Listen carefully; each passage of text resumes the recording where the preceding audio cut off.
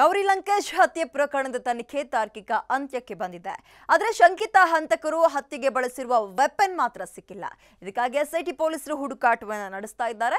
ಈ ಮಧ್ಯ ಸಾಹಿತಿ ಬರಗೂರು ರಾಮಚಂದ್ರಪ್ಪ ಡಿಸಿಎಂ ಪರಮೇಶ್ವರ್ ಅವರನ್ನ ಭೇಟಿ ಮಾಡಿ ಹಲವು ವಿಚಾರಗಳ ಕುರಿತು ಚರ್ಚೆ ನಡೆಸಿದ್ದಾರೆ. ಅಲ್ಲದೆ ನಾನು ಕೂಡ ಮೂಲಭೂತವಾದಿಗಳ ಹಿಟ್ ಲಿಸ್ಟ್ನಲ್ಲಿದ್ದೇನೆ ಅಂತ ಹೇಳಿದ್ದಾರೆ.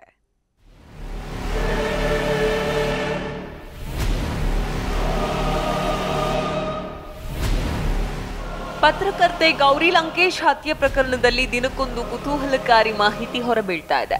ಶಂಕಿತ ಹಂತಕ ಪರಶುರಾಮ್ ವಾಗ್ಮೋರೆ ಬಂಧನದ ಬಳಿಕ ವೆಪನ್ಗಾಗಿ ಎಸ್ಐಟಿ ತಂಡ ಹುಡುಕಾಡ್ತಾ ಇದೆ. ಇದಕ್ಕಾಗಿ ವಾಗ್ಮೋರೆಯನ್ನ ವಿಜಯಪುರಕ್ಕೆ ಕರ್ಕೊಂಡು ಹೋಗಿ ಬಂದಿದೆ. ಹತ್ಯೆಯಲ್ಲಿ ಬಳಕೆಯಾಗಿರುವ seven point six five MM ಪಿಸ್ತೂಲ್ ವಾಗ್ಮೋರೆಗೆ ಸಿಕ್ಕಿದ್ದು ಹೇಗೆ ಅಂತ ತನಿಖೆ ನಡೆಸ್ತಾ ಇದೆ.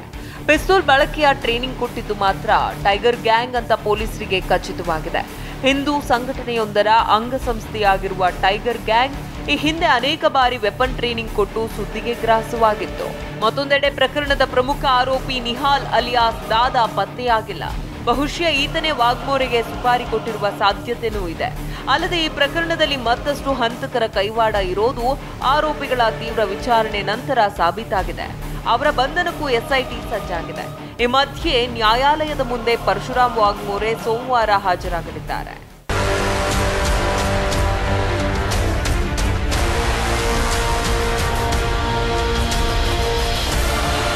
ಈ ನಡುವೆ ಗೌರಿ ಹತ್ಯೆ ತನಿಖೆ ತಾರ್ಕಿಕ ಅಂತ್ಯ ಕಾಣ್ತಾ ಇರುವ ಅಂಗವಾಗಿ ಡಿಸಿಎಂ ಪರಮೇಶ್ವರ್ಗೆ ಸಾಹಿತಿ ಬರಗೂರು ರಾಮಚಂದ್ರಪ್ಪ ಅಭಿನಂದನೆ ಸಲ್ಲಿಸಿದ್ದಾರೆ. ಎಂದು ಸದಾಶಿವನಗರದ ಅವರ ನಿವಾಸಕ್ಕೆ ಭೇಟಿ ನೀಡಿ ಹಲವು ಮಹತ್ವದ ವಿಚಾರಗಳ ಬಗ್ಗೆ ಚರ್ಚಿಸಿದ್ದಾರೆ. ಕಲಬುರಗಿ ಹತ್ಯೆ ತನಿಖೆಯನ್ನು ತೀವ್ರಗೊಳಿಸುವಂತೆ ಮನವಿ ಮಾಡಿದ್ದಾರೆ.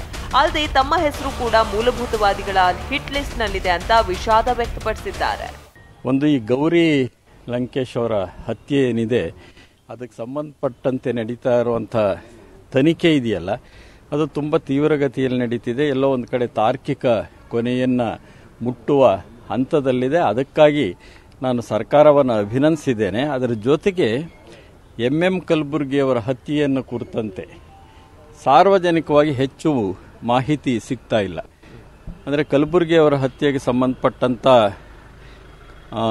ಹಿನ್ನೆಲೆ ಏನಿದೆ?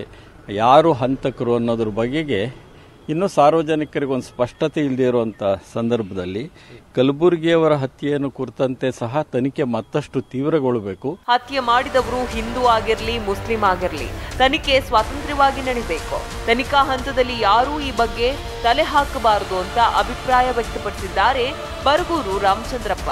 ಒಟ್ನಲ್ಲಿ ಗೌರಿ ಹತ್ಯೆ ತನಿಖೆ ತಾರ್ಕಿಕ ಅಂತ್ಯ ತಲುಪಿದೆ.